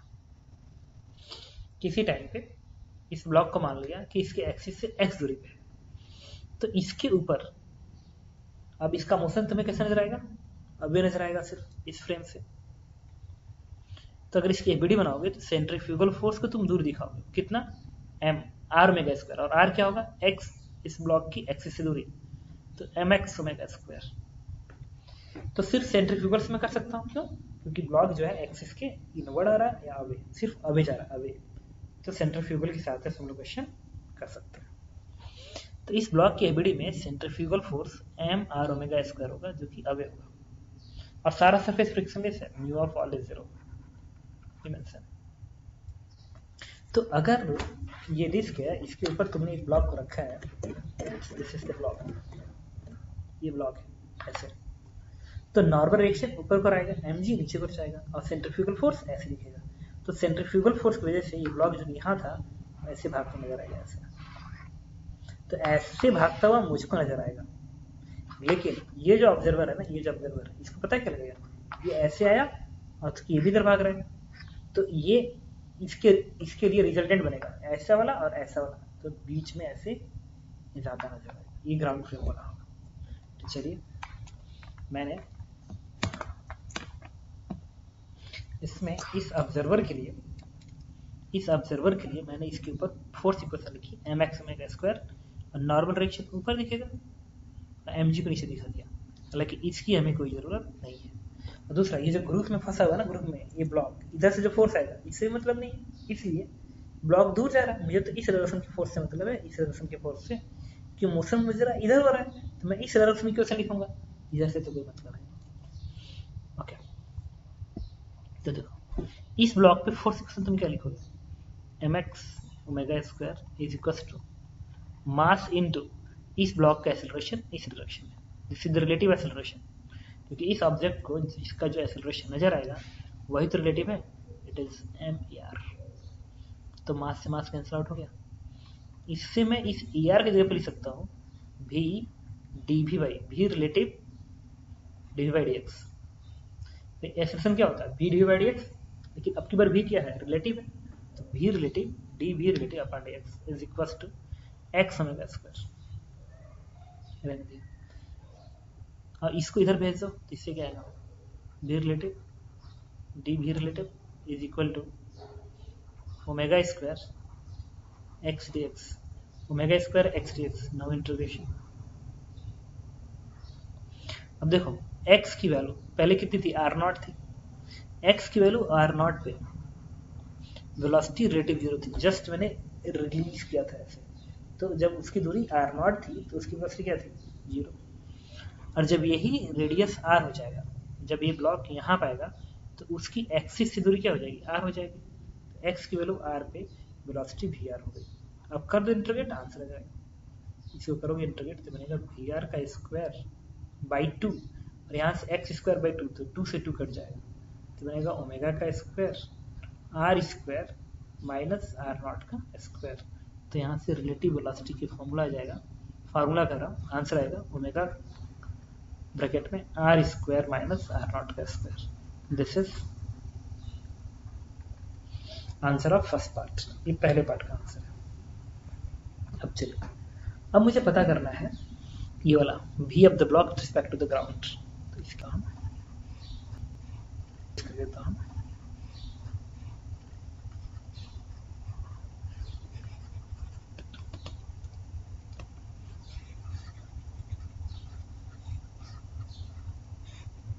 देखिए अब मैंने कहा कि इस ये ब्लॉक जब इस बाउंड्री पाएगा बाउंड्री पाएगा तो इधर वाला वेलोसिटी भी रिलेटिव है, जो कि इतना आ गया। लेकिन ये जो पॉइंट है, ये पॉइंट अर्थ ये पॉइंट इस एक्सिस के चारों तरफ़ सर्कुलर मोशन भी तो कर रहा है। ये अगर ऐसे घूम रहा है, ऐसे घूम रहा है, ऐसे घूम रहा है तो ये वाला पॉइंट सर्कुलर मोशन भी तो कर रहा है। और सर्कुलर मोशन में वेलोसिटी क्या होती है? आर ओमेगा मतलब अगर ये दूरी कैपिटल आर है और एंगुलर स्पीड ओमेगा है तो इस पॉइंट वेलोसिटी क्या होगी? R omega R omega tangent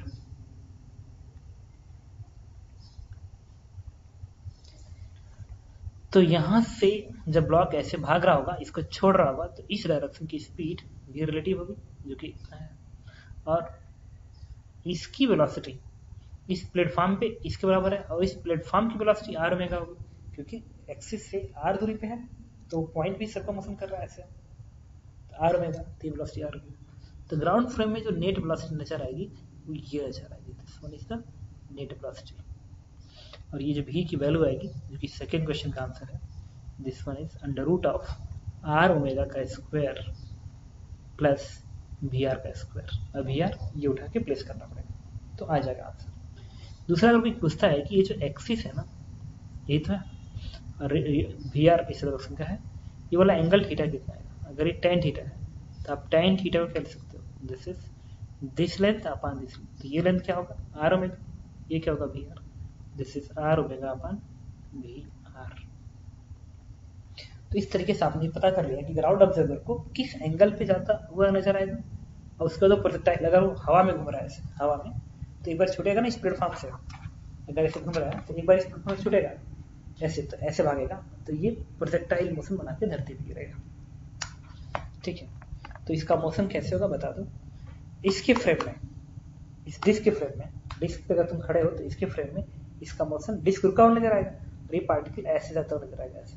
फिर सर पे छोड़ेगा प्रोजेक्टाइल मोशन और सर पे छोड़ते समय उसकी जो वेलोसिटी होगी देखिए ये तो दिख रहा ना यहाँ पे। ये डॉट देखिए। यहाँ रुकिए। ये ये होगा वेलोसिटी और यही जब ग्राउंड फ्रेम वाला देखेगा तो ग्राउंड फ्रेम वाला क्या दिखेगा? ग्राउंड फ्रेम वाले। ये वाला इधर जाएगा साथ में इधर रहेगा इधर क्यों जाएगा? बिकॉज़ ऑफ़ इसके रोटेशन से। तो फिर इसका इसका रिजल्टेंट किस के डायरेक्शन में टेंजेंट बना के प्रोजेक्टाइल बना के नीचे गिरेगा ओके चलिए। हम लोग नेक्स्ट पढ़ेंगे बैंकिंग ऑफ़ फ्रॉड ओके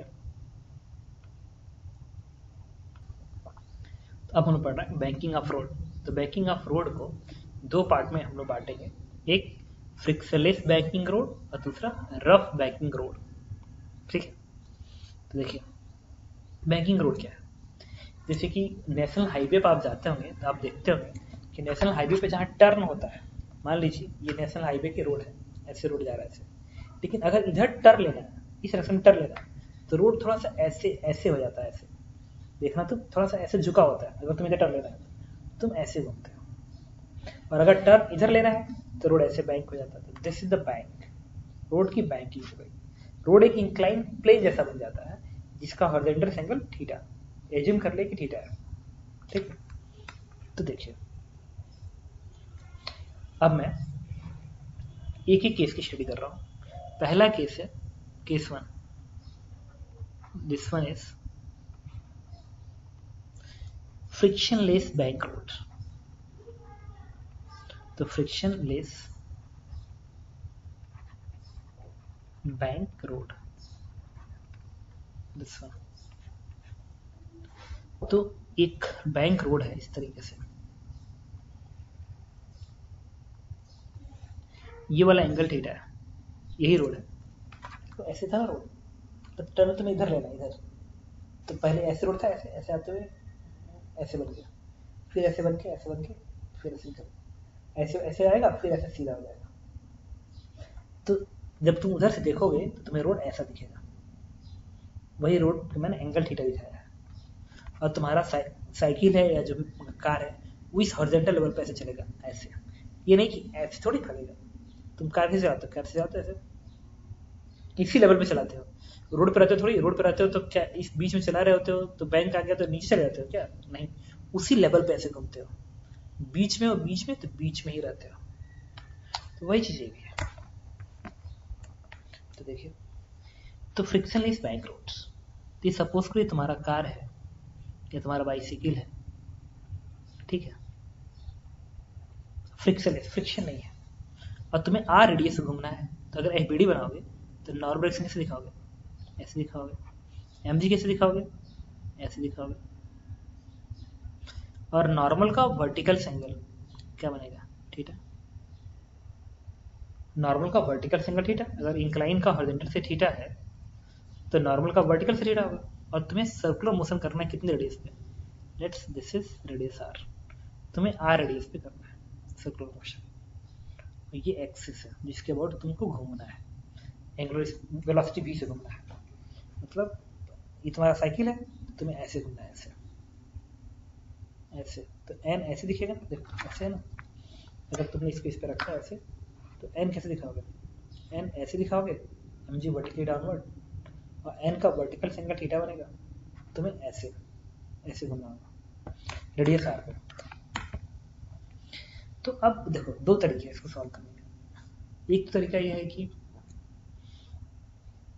आप क्या करो?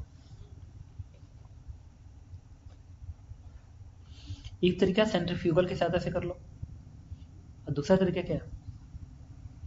कि आप बेसिक से कर लो। चलो बेसिक से करते हैं। अगर इसकी स्पीड भी है, मान लो बाइसिकल की स्पीड भी है तो टुवर्ड द सेंटर फोर्स की क्या लिखोगे? टुवर्ड द सेंटर ये एन का थीटा है क्या बनेगा? एन साइन थीटा तो आप लिखोगे N sine theta is equal to M V square by R एक ही बात है, या एम आर में क्या square M V square by R और वाई में फोर्स बैलेंस कर दो वाई में तो क्या बनेगा। N cos theta is equal to M G ये मैं बेसिक यूज़ कर रहा हूँ मेथड वन तो बेसिक ऐसे सर्कुलर मोशन कर रहा है सर्कुलर मोशन ऐसे कर रहा है, ऐसे। तो अगर ऐसे सर्कुलर मोशन कर रहा है तो toward the centre net force equal to M V square और वाई में नेट फोर्स ज़ीरो होगा, क्यों होगा? कि उसी लेवल पे घूम रहा है, उसी लेवल पे घूम रहा है, उसी लेवल पे। तो अगर उसी लेवल पे घूम रहा है तो वाई में तो नेट फोर्स ज़ीरो होगा, क्योंकि वाई में तो कोई एक्सेलरेशन नहीं। है लेकिन टुवर्ड द सेंटर एक्सेलरेशन है वी स्क्वायर बाई आर का। लिखा एन का साइन थीटा एंगल के सामने साइन कहलाएगा एन साइन थीटा बराबर M V square by R और वाई में फोर्स क्या लिखोगे? N cos theta minus M G बराबर ज़ीरो अब इसको डिवाइड कर दो तो इससे क्या आएगा? Tan theta is equal to V square by R G tan theta बराबर एम से एम कटेगा V square by R G इससे वी स्क्वायर की वैल्यू क्या आ गई? स्क्वायर की वैल्यू आ गई। Under root of R G tan theta. मतलब कि अगर तुम्हें आर रेडियस पे सेफ़ टर्न करना है, अगर आर रेडियस पे तुम्हें सेफ़ टर्न करना है, आर रेडियस पे अगर तुमको सेफ़ टर्न करना है, बिना स्लिप किए, बिना नीचे को स्लिप किए या ऊपर को स्लिप किए अगर टर्न करना है तो आपकी स्पीड इतनी होनी चाहिए। Equal to root R G tan theta होनी चाहिए। जब आर क्या कितने रेडियस पे घूम रहे हो? ठीक है? और थीटा क्या है? इंक्लिनेशन एंगल है, उस रोड का हॉरिजॉन्टल से ठीक है? अगर तुम अपनी स्पीड बढ़ाते हो, अगर बाइक की स्पीड ज़्यादा है तो फिर पता है क्या होना चाहिए? इस रेडियो को बढ़ाना पड़ेगा। रेडियाई को तुम्हें बढ़ाना पड़ेगा। होता भी तो जब तुम्हारी स्पीड ज़्यादा होता है तो देखो तुम जल्दी से नहीं मुड़ते तुम ज़्यादा रेडियस पे घूमते हो। और वही जब स्पीड थोड़ा कम होता है तो जल्दी से टर्न लेते हो। ये भी फॉर्मूला बता रहा है कि अगर स्पीड ज़्यादा है तो तुम्हें ज़्यादा रेडियस ओके ठीक है। तो मेथड वन से बताया। अब मैं थोड़ा सा आपको बताता हूँ सेंट्रीफ्यूगल के सहायता से। ठीक है तो इसमें मैंने क्या किया? सुनते रहिएगा। अब अगर ये स्पीड वी से घूम रहा है तो इसकी जो एंगुलर स्पीड आएगी, इस बाइसिकल की, इस एक्सिस के अबाउट वो कितनी होगी? This is V upon R velocity भी और आर से डिवाइड कर दिया। Angular speed is V by R और तुम भी इसी पे खड़े होके इसके मोशन को ऑब्ज़र्व करो। तो रियल फोर्स तो एड और एम दिखेगा ही बट सेंट्रीफ्यूगल फोर्स दिखेगा अवे अगर तुम भी उसी ओमेगा से घूम रहे हो, जिस ओमेगा से साइकिल घूम रहा है तो तुमको सेंट्रीफ्यूगल फोर्स अवे दिखेगा। वो तो हमेशा भी होता है। तो क्या दिखाएँगे? M R M R omega का square omega is V upon R whole square this value is M V square by गया सेंट्रीफ्यूगल फोर्स अब तुम देखो क्या करेंगे। तो तुमको ये लगेगा कि साइकिल रुकी हुई है। तुमको लग रहा है कि साइकिल रुकी हुई है। अगर साइकिल रुकी हुई है तो नेट फोर्स ज़ीरो होगा। तो फिर हर डायरेक्शन में ज़ीरो होगा ना। तब तो हर डायरेक्शन में ज़ीरो होगा। अरे, अगर तुमको लग रहा है कि साइकिल रुकी हुई है, इसका मतलब क्या है? कि नेट फोर्स ज़ीरो है। तो नेट फोर्स तो हर डायरेक्शन में ज़ीरो है। हर डायरेक्शन में। इसका मतलब कि अगर ये थीटा है, ये नाइन थीटा ये क्या बनेगा? थीटा तो मैं तो फोर्स बैलेंस किधर भी कर सकता हूँ? मैं इधर भी कर सकता हूँ, इधर भी कर सकता हूँ, इधर भी। किसी भी में करो। मैंने कहा, एक काम करते हैं यार। चलो, इधर ही बैलेंस कर लो। इधर, ठीक है बनेगा एन का cos component it is N cos theta is equal to M G नीचे है equal to M G equation number one यही तुम लिखे थे? और एक इक्वेशन एक्स में बैलेंस करो एक्स में। तो एन का एंगल के समझ साइन जाता है एंगल के समझ साइन तो ये बनेगा एन साइन थीटा तो N sine theta is equal to ये वाला force M V square by R equation number two इसको दो इक्वेशन दो उन्होंने। नहीं, इसको इसको डिवाइड करो तो जैसे डिवाइड करोगे, इससे भी स्क्वायर की वैल्यू हो जाएगी। अंडर रूट करोगे तो आएगा आर जी टेन थीटा एकदम सेम बन गया। तो एक इंपॉर्टेंट फॉर्मूला है, तुम्हें याद करना है कि for safe term safe term on on frictionless bank frictionless bank road अगर फ्रिक्शनलेस बैंक रोड पे अगर आपको सेफ़ टर्न करना है तो आपकी स्पीड इस फॉर्मूले को गवर्न करना चाहिए। रूट आर टेन थीटा को गवर्न करना चाहिए। गॉट इट अच्छा कभी क्वेश्चन में कहता है ना कि अगर आप अपनी स्पीड को बढ़ाओगे तुम्हें स्लिप किधर करना है? ऊपर की ओर कि नीचे की ओर? कंफर्म है कि ऊपर को स्लिप करोगे। तो तैसी समझ लो स्पीड ज़्यादा दिए थे, कम स्पीड तो ज़्यादा स्पीड ज़्यादा रेडियस पे तो स्पीड बढ़ाओगे ना स्पीड स्पीड जब बढ़ाओगे तो ये बीस कर यार बढ़ेगा। जब ये बढ़ेगा तो इस ब्लॉक को इधर खींचेगा। जब इधर खींचेगा तो इस इंक्लाइन के पैरेलल स्लिप करा देगा। जब ये इधर खींचेगा, इधर जब खूब तेज, जब भी बढ़ाओगे तो इधर फोर्स बढ़ेगा। जब इधर फोर्स बढ़ेगा तो इधर फोर्स बढ़ेगा तो इसका एक कंपोनेंट इस इंक्लाइन के लॉन्ग आएगा, और एम का ये वाला कंपोनेंट तो बढ़ेगा नहीं। ये तो होगा एम जी साइन थीटा और इसका ये फोर्स कितना आएगा? M V square by R cos theta तो जब स्पीड बढ़ाओगे तो ये जो वैल्यू होगी, इससे ज़्यादा हो जाएगी तो इसकी स्लिपिंग ऊपर करोगे। तो इसलिए जब स्पीड बढ़ाओगे ना तो इंक्लाइन से अवे रोड पे तुम दूर जाता एक्सिस से दूर जाता नज़र इस ऑब्जर्वर को। और अगर स्पीड कम करोगे तो फिर ये तो यही रह गया। ये वैल्यू कम हो गई, ये वैल्यू कम हो गई तो फिर ये इंक्लाइन के नीचे को सरकते नज़र आओगे बाई दिस ऑब्जर्वर तो अगर स्पीड ज़्यादा होगी तो इस ऑब्जर्वर को तुम अवे जाते नज़र आओगे। और स्पीड कम होगी तो इस ऑब्जर्वर को, इस ऑब्जर्वर को तुम नीचे सरकते हुए नज़र आओगे। हाँ कोई बात नहीं बट आप इस फॉर्मूले को याद रखोगे, क्योंकि पूछे कि फ्रिक्शनलेस बैंक रोड पे स्पीड कितनी होनी चाहिए सेफ़ टर्न के लिए। तो answer is root R C tan theta okay अब हम लोग केस टू की स्टडी करेंगे. केस टू केस टू है.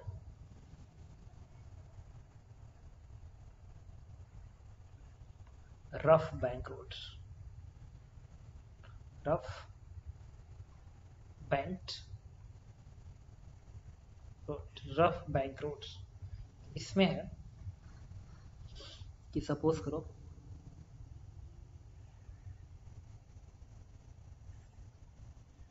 ये वाला एंगल थीटा ठीक है, और ये साइक्लिस्ट है तो इसमें क्या है कि अगर तुम आर रेडियस पे घूम रहे हो सपोज़ करो। आर रेडियस पे तुम घूम रहे हो, और एंगुलर स्पीड ओमेगा है तुम्हारा भी अपान आर के बराबर। ये तुम्हारी स्पीड भी है। तो नॉर्मल रेडियस तुम ऐसे दिखाओगे। एम जी तुम इधर दिखाओगे। और सेंट्रीफ्यूगल फोर्स तुम ऐसे दिखाओगे। अगर रेडियस आ रहा है तो। बनेगा M V square by R के बराबर। वही तो है M R omega square M V square by R अब देखो, ये वाला एंगल थीटा है? तो एंगल क्या दिखाओगे? थीटा। अच्छा ठीक है। तो मुझे ये बताओ, थोड़ा तो। इसको आगे कर बढ़ा दो।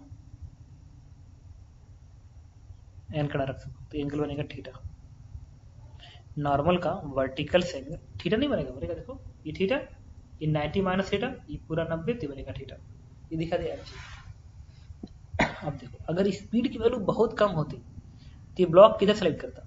नीचे। स्पीड ज़्यादा होगी, तब तो जाके इसके ऊपर खींचेगा, अभी तो पड़े थे। अगर स्पीड कम है, अगर इस, अगर इसकी स्पीड कम है तो नीचे सकते और स्पीड बहुत ज़्यादा है तो इस एक्सिस से इसकी दूरी, अगर स्पीड बहुत ज़्यादा है तो सेंट्रीफ्यूगल फोर्स इसको ऊपर खींचेगा।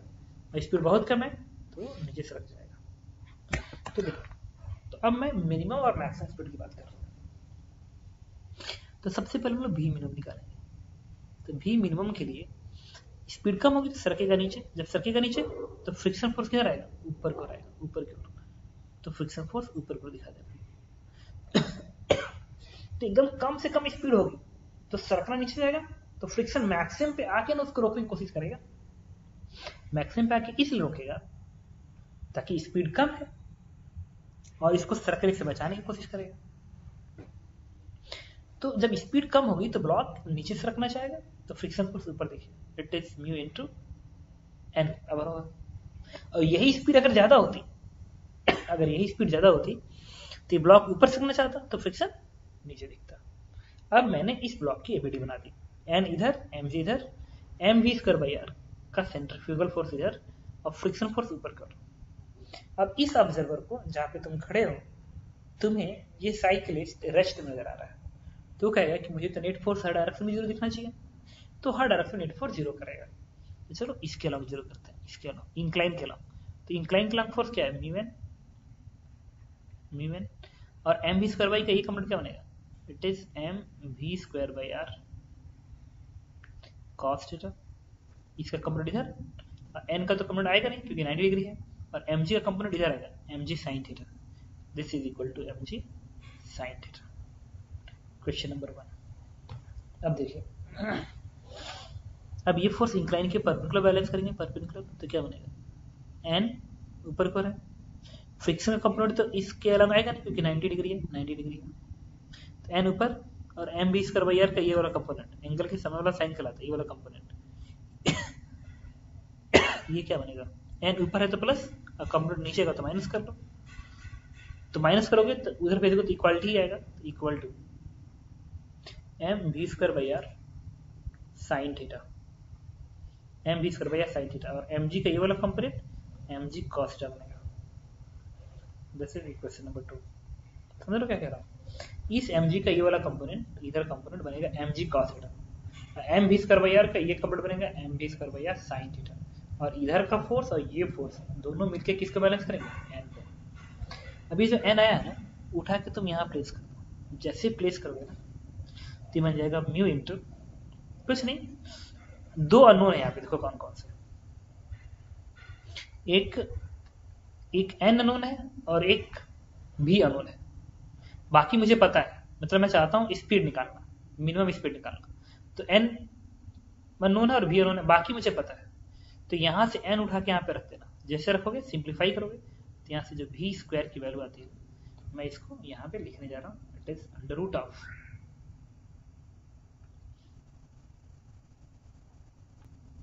तो जब तुम इसको सिंप्लीफाई करते हो, इस दोनों इक्वेशन को, यहाँ से उठा के यहाँ प्लेस कर दो सिंप्लीफाई करोगे तो इस v की वैल्यू इतनी आती है। आर जी ब्रैकेट में mu minus tan theta divide by one plus mu tan theta and this is the minimum speed क्योंकि आपने मिनिमम स्पीड निकाला है।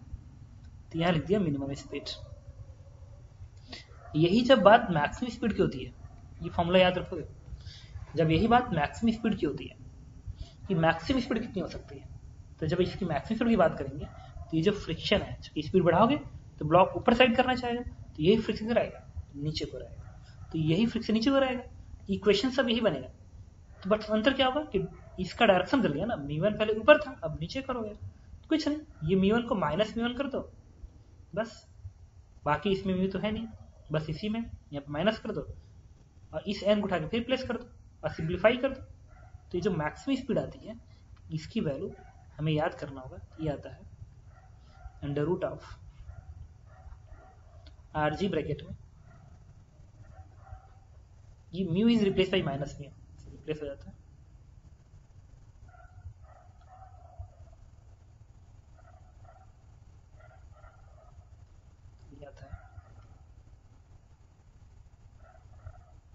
अच्छा इसमें ना फार्मूले में एक प्रॉब्लम आ गई। ये टेन थीटा माइनस म्यू आएगा। जब सिंप्लीफाई करोगे तो। इसको। ठीक है। और इसमें क्या होगा ना? एक्चुअल में यहीं पे तो माइनस लिखा हो मतलब म्यू के जगह पे तूने माइनस लिखा मैक्सिमम स्पीड के केस में मैक्सिमम स्पीड के केस में तूने म्यू के जगह पे क्या लिखा माइनस क्यों? क्योंकि डायरेक्शन ऊपर था, जब स्पीड बढ़ाओगे तो ब्लॉक ऊपर स्लिप करेगा तो फ्रिक्शन नीचे आ जाएगा। तो डायरेक्शन उल्टा करना है मतलब यहाँ पे माइनस लगाना है। तो म्यू को माइनस रिप्लेस कर दो तो क्या बनेगा mu plus tan theta bracket में one mu replace by minus में। तो माइनस म्यू टेन थीटा तो ये है आपका मैक्सिमम स्पीड का फॉर्मूला। मतलब एक रफ रोड पे अगर आपको टर लेना है और सेफ़ टर लेना है, सेफ़ टर लेना है तो मिनिमम स्पीड इतनी होनी चाहिए और मैक्सिमम स्पीड इतनी होनी चाहिए। ये ध्यान रखना। अब कुछ चीज़ें मैं आपको और बताता हूँ इस फॉर्मूला की हकीकत। यहाँ पे मैं लिख दे रहा हूँ। मान लो एक पार्टिकल है, इसको मैंने वी नॉट मान लिया। ये भी ध्यान रखना।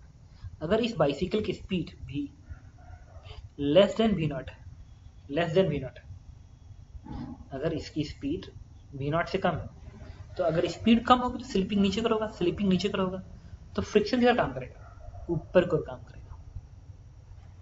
जब स्लिपिंग नीचे करोगी तो फ्रिक्शन ऊपर को काम करेगा तो फ्रिक्शन का डायरेक्शन ऊपर करोगा ध्यान रखना दूसरी बात, अगर इस स्पीड की वैल्यू एग्जैक्टली वी नॉट के बराबर होती है तो उस केस में फ्रिक्शन ज़ीरो आता है। फ्रिक्शन ही नहीं आता है। देखो फ्रिक्शनलेस से काम चल जाएगा ना। फ्रिक्शनलेस से काम चल गया, अगर इसके बराबर आ गई तो। और अगर भी की वैल्यू वी नॉट से ज़्यादा आ गई मतलब अगर इसकी स्पीड ज़्यादा होगी तो सरकना ऊपर जाएगा। तो फ्रिक्शन नीचे। तो फ्रिक्शन डायरेक्शन नीचे। इस चीज़ को तुम्हें भी अलग से भी ध्यान रखना पड़ेगा। ठीक है? ये चीज़ें ध्यान रखना है। अब इस पे बेस्ड होके हम लोग एक सिंपल सा क्वेश्चन कर लेते हैं। ठीक है? देखिए। देखिए, इस क्वेश्चन में कह रहा है कि a road is bank for speed 30 metre per second at radius of 10 metre if mu is 0.2 then find speed भी for safe turn on road at same radius कह रहा है कि एक बैंक रोड है जो कि बनाया गया है 30 मीटर पर सेकेंड के स्पीड के लिए एट 10 मीटर के रेडियस